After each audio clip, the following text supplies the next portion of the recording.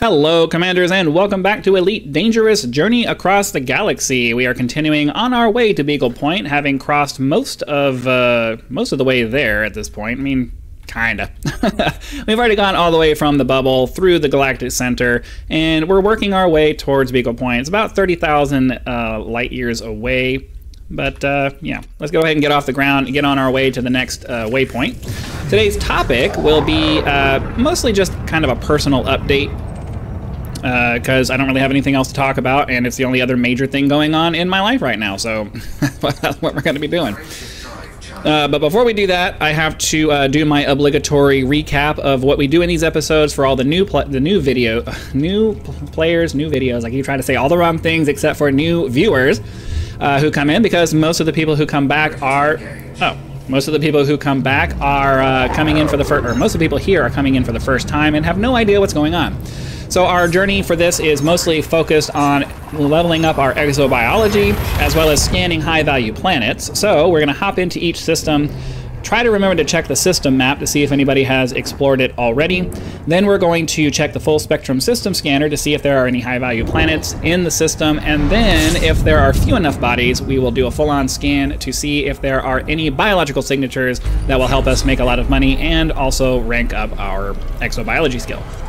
So, now that you know the premise, you're caught up to speed with everybody who's been following along the whole time. Uh, yeah, my, my topic for today is going to be mostly just, you know, talking about what's going on with my moving situation right now. Uh, I'm sure some of you have seen other videos where I've been talking about my work situation and all of that, but, uh, you know, part of what's been causing that work situation to be what it is is just the fact that I've been living in Mexico for the last year and I can't work here. So, and uh, finding a remote job has been very difficult. I haven't.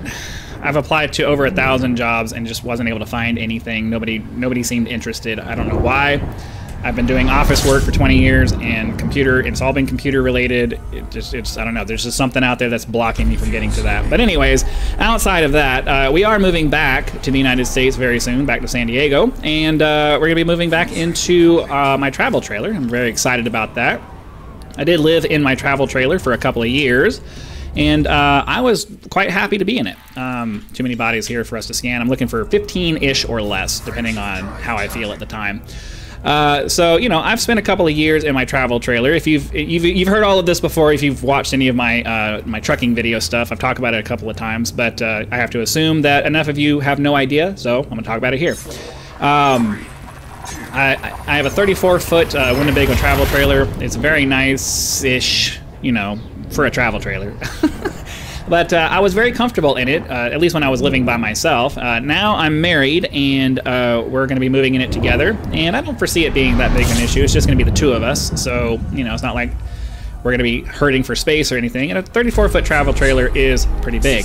So we're moving back, and I'm going to be volunteering with the Park Service to uh, so that we can have a long term space while we kind of figure out getting back into the United States and figuring out what we're doing and, you know, ideally trying to build this channel up into something that actually pays us pays me enough so that she can stop working and we can go traveling that's the dream that's where we're trying to get to but obviously you know the channel actually has to grow big enough for me to do that so I've been pushing hard to try to get subscribers in so I can uh, fully monetize the channel and get uh, to the point where I can start getting some of that ad revenue. I do have a few uh, paid subscribers, and I'm pretty sure all of you who are uh, paid members of the channel watch are paid members because of this series. So I want to make sure I say here, thank you very much for you guys who are supporting the channel.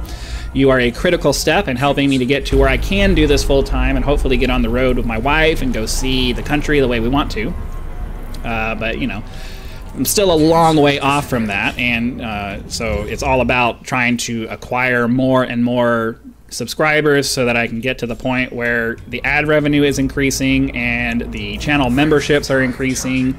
And then, you know, maybe some people end up buying some things using the link in my description for some of the gear that I use, and that could help out a little bit kind of just hoping I can have a bunch of different sources of revenue that are all coming in and it ends up adding up to be enough to where I could actually, you know, do this full time and actually be getting paid for it. Because I've been doing this full time since I've been living in Mexico, but it wasn't because it was my first choice of thing to do full time. It was because I, I didn't have anything else to do, and I'm like, well, I got to do something productive. Let me work on my channel, I guess.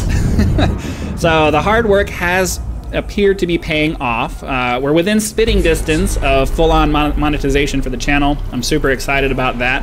It's going to be very nice to actually have some kind of hopefully consistent income.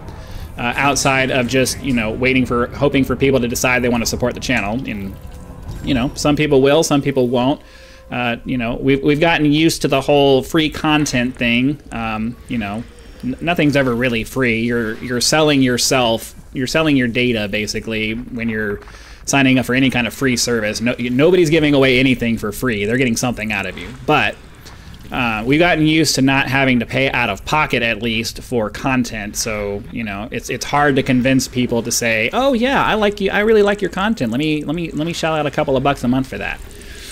You know, and it's really it's really difficult. Um, it's really difficult to overcome that when you pretty much have to give away your content for free if you want anybody to ever find you. So it's just it's one of those things that's kind of difficult because you have you have to kind of break through that initial barrier of being completely unknown and then finding enough people who are interested in what you do to gather some kind of a following and then growing that following.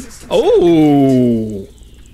Okay, well, we're going to be on this planet for a little bit. That's probably going to be it for this episode, to be perfectly honest with you, because that's a lot. Five? Okay, uh, let's head over there. Definitely going after that. Okay, well, anyways, uh, so yeah. Um, that's kind of like my my it's kind of a half-ass plan though because you know it all relies on you know YouTube becoming the thing that works for me. And while I am experiencing some pretty decent growth and I'm, I'm growing faster than I kind of thought that I would, you know, it, it still takes a while to build a channel. So I gotta figure out things to do in the meantime while I'm waiting for the channel to grow to the point where it becomes my thing. Now, that being said, I do have plans to start doing a uh, traveling uh, a YouTube travel channel. Uh, probably going to call it Gunthrek's Travels.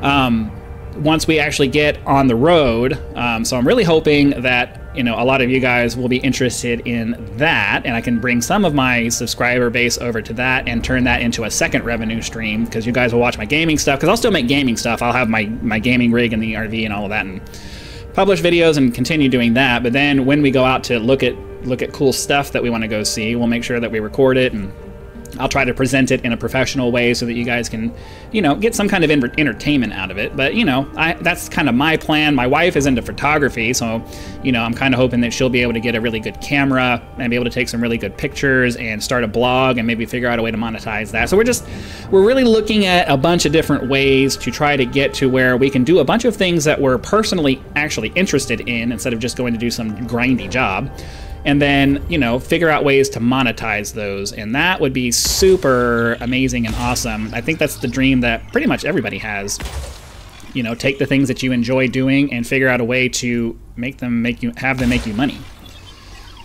But you know it's also extremely difficult to figure out ways that ways to do that that will actually work like you can always, you know, everybody has a blog, everybody has a channel, everybody has all of this. You, you got to be good enough, and that's the hard part. Stratum, Tussock, and Osseous. Fungoida, we're probably not going to go after because those are very hard to get to. Looks like these three are all about the same, so we'll leave that up, and then we'll go ahead and get the Super Cruise turned off, get ourselves moving in towards the planet and go see what we can find. So realistically, we'll probably get four out of the five, depending on how hard it is to get to the to some of the other ones. Uh, the Fungoida is always up in the mountains and very difficult to reach. But depending on how much time we have, we may try to get it done. We are gonna, we're almost certainly gonna end the episode on this planet because of how many biological signatures there are. Excuse me. The amount of time it's gonna take us to go through all of this is going to be significant. So I don't foresee us continuing on our journey very very far. Or I don't I don't I don't see us continuing on our journey after this. We're gonna we're gonna be scanning for a minute. So we'll go into this crater here because usually craters are a very good spot to find biological sources. Actually, I'm going to go to this crater here because it's near the mountains and maybe, or it's at least near what looks like mountains. May, well, I don't know. There's a crater there. That's weird. Maybe we'll be able to find some fungoida that's easy to find, it's that's easy to land near. But then again, I don't even know, I don't even know. I don't know. We'll go into this. We'll go into this crater here. We'll see if there's there should be with five biological signatures. There should be something in the craters, and then we'll we'll we'll take it from there. Obviously, we're not going to know until we get down here what the situation is.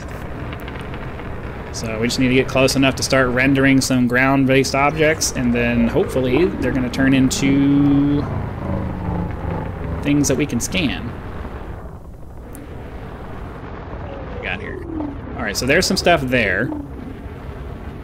So now the question is, can we land over here? Is this a flat enough area here to land in? So that we can go get that. It looks like it should be, but then again, the ground radar, or the ground hologram, or whatever it is you want to call this here, is not necessarily the most easy thing, the most accurate thing to use when it comes to trying to figure out if you can actually land on something. So anyways, yeah, that's that's kind of like since I couldn't think of anything else, I figured I'd give you guys an update on my thought process and kind of what's going on. Oh, there's grass. There's grassy ones here too. Okay, well that makes it easy.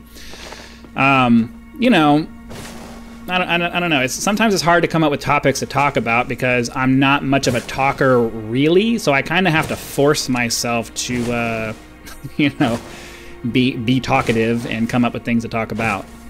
All right, what do we got here? Some kind of lime. Looks like lime-colored something. The tussocker... Oh, the stratum. Stratum Paleas lime. Okay, very nice. I really wish that they would update this so that you could have multiple sample containers instead of forcing us to have to go take off and find three different samples and completely waste this one here. That's so annoying. Ooh, I wonder if that one's far enough away. We'll try. Too far away. I don't think it's far enough, but we'll try. Come on.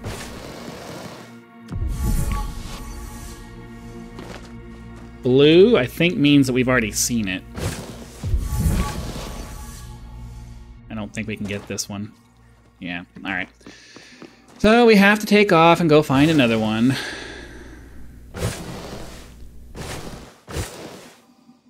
Get ourselves up into the ship and looking off looking for looking for another sample.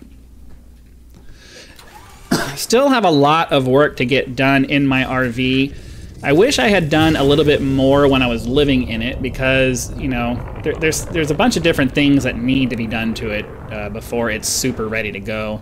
I have an air conditioner mod that I need to do. There's a there's this uh, there's videos floating around on the internet that show you how to redirect your overhead air conditioner in your RV and make it more make it more uh, efficient and powerful and uh, that kind of thing because you're not losing half of your cooling to uh, inefficiencies and things like that. So it's basically it's a, it's some foam that you put up in the air conditioner space and it forces your air conditioning into the ducts rather than just allowing you to dump it out. Which you know I, I would prefer it to go that way anyways. It's supposed to be much quieter as well, so... Okay, can we land here? Alright, there we go, right there.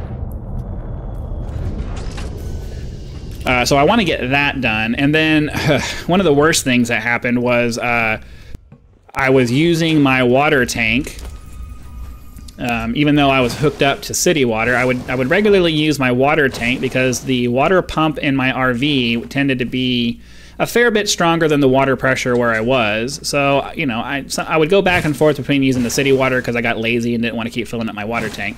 But a lot of the times I would use my water tank, and for whatever reason, filling it up ended up causing the wood support that was holding it to break and it fell out through it almost fell out through the bottom of the trailer. The only reason it didn't fall out was because um, the bottom of the trailer has a cover under on it, uh, which it almost ripped off, but because it had you know a full 400 400 pounds of water in it, 50 gallon tank, you know, uh, so you know, fortunately it didn't actually fall out, but I had to do I had to do a bunch of work to get the water out, and do, it was just it was a big deal. And ever since then, I've been trying to figure out a really good way of um, remounting it in there so that it can you know, be full of water and not have a problem. Is that a... That looks like a biological thing. Okay, we're to stop here on this one on the off chance that it's far enough away. I'll get back to the water tank in a second. I gotta find a landing spot here. Okay. I land? Alright. So, you know, at first, right now it has, um, it has some um, cargo straps holding it up. Because I, need, I needed something that was going to be strong enough to hold up that much weight. Uh, so the, the cargo straps are kind of strapped to the struts that were originally holding up the wood. Let's see. Can I see anything else nearby? Any grass or anything? Or is that that's the bacteria? I'm not really trying to get bacteria yet. We'll do that one last. All right, I was hoping we could just find something here without having to go back up into the back up into the air, but as usual, there's never anything nearby when I'm when it's convenient. Uh, so yeah, I just I needed something that was strong enough to hold up that much water, and it, it boggles my mind because the way they designed it, if it broke, like I didn't I, I didn't I, I was living in a trailer park basically where I couldn't come and go as I please. So I did. I, it, it's never been like actually used as an RV. I lived in it, so it was just sitting there. Like it went straight from the dealership to the. Uh, it went straight from the dealership to the parking spot that it sat in for two years, and it broke in that. So it's not like it had water in it when I was driving around, and then you know the up and down, the banging and all that stuff broke it. No, it, it like it never went anywhere with water in it. so I don't know how they expected that to survive. You know, even being halfway full of water. Uh, you know, if it broke, if it broke with a full tank just sitting there, that just boggles my mind that that's that they that they thought that that was going to work. I don't understand that. So I'm I don't I don't know I don't know. So anyway, that's yet another that's another thing that I need to you know figure out and get get get fixed. And I don't know. I'm thinking I'm probably just going to just take the water tank out, put it in the back of my truck, and then just pump into my city water supply from my truck. That way, I never have to worry about the tank being an issue. It'll be safe in, in the back of my truck, and uh, you know I won't, I, I, won't really have to worry too much about freezing because I'm not going anywhere where it's going to get that cold anyways. I, I don't like being cold, and I would never go somewhere where it snows and actually stay the night there. That's not happening. Uh, gotta get far enough away that we can find some of the grass and actually have some diversity, so...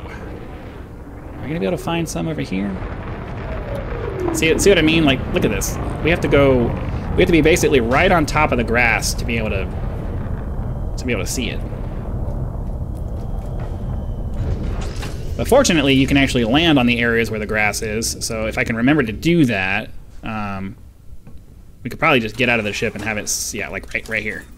just grab it real fast. Uh, outside the window. Okay.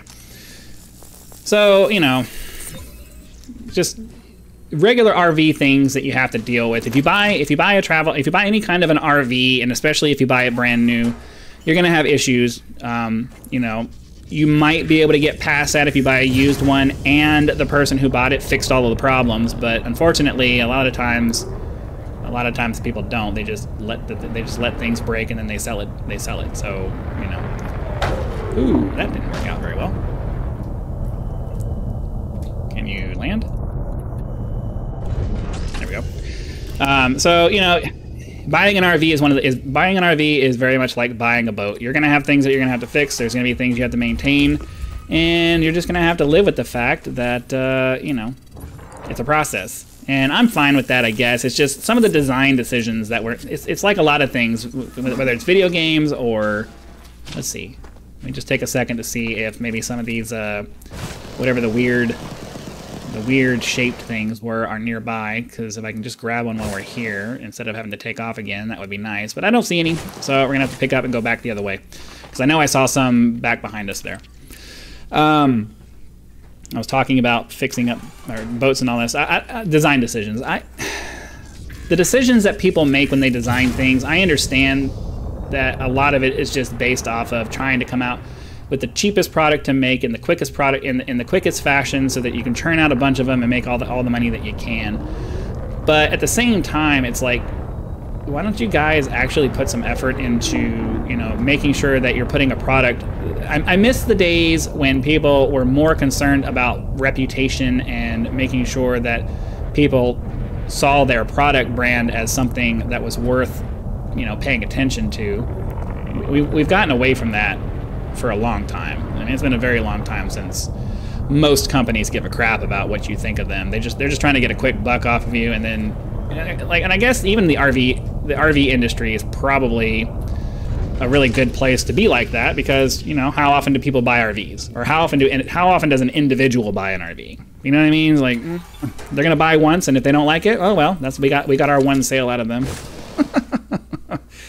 I, I, I, guess I guess I, I me personally, if I was running a business, as much as it would be nice to squeeze every dollar out of these units, and I understand that it adds up, but at the same time, it's like I, I, would want people to look at my brand and be like, yeah, man, it's a good quality brand at a reasonable price. You know, they're not charging an arm and a leg for it, but you're still getting a good product. And I wish more companies thought that way. They used to think that way. Like before my time, most companies really thought that way. They wanted to get, they wanted to earn your loyalty. But those days seem to just be long gone. All right, so there's some more over there that I can kind of see. I think we could probably get those over there. So let's get uh, let's get back into our ship here, fly over there as quick as we can. And then after that, we may try to do the bacteria. I did see some as we were kind of landing over by one. I remember, you, guys remember I said something about it. Okay, I think I said I saw some over here, right? Hmm, I'm not convinced that those are far enough away, so we'll go to this one here. Okay, can we land here? Oh, yep, we can. I can get right on that spot. Alright. I think this is number two for this. We'll find one more and then do the biology. Is this number two or number three? I've, I've lost track already. All right, we'll grab this guy. So we've already gotten all the grass. We've already gotten all of the um, stratum. So we just need to get these last spiralis or whatever they're called. These are the are these the osmium? Osmium spiralis? Is that what it's called? I don't I don't know. I, my, my my memory is terrible. All right, what do we got here? Osseous spiralis indigo. So we need one more, and then we can look for the bacteria. I don't know that I'm going to bother even trying to find the fungoida because it's just, it's such a pain to find. It's such a pain to find a landing spot for them. I mean, maybe off camera I might, but I'm certainly not going to try to do it with, you know, seven minutes left. So yeah, that's a life update. I don't know how I, I, could continue to do life updates as we go, but realistically, you know, my life is pretty boring and simple, and I don't, you know, it's not until we get to the point where I'm actually able to travel and go visit places. You know, I'm not really going to have much to talk about. And then even then, we're going to be trying to start a travel channel if we do that. So you guys will be able to see it over there. I don't really want to ruin it for you that way either. So personal life is not really going to be much of a too much of a topic if I can avoid it. Uh, let's see. Where are... I just need one more. I just need one more. Come on. There we go.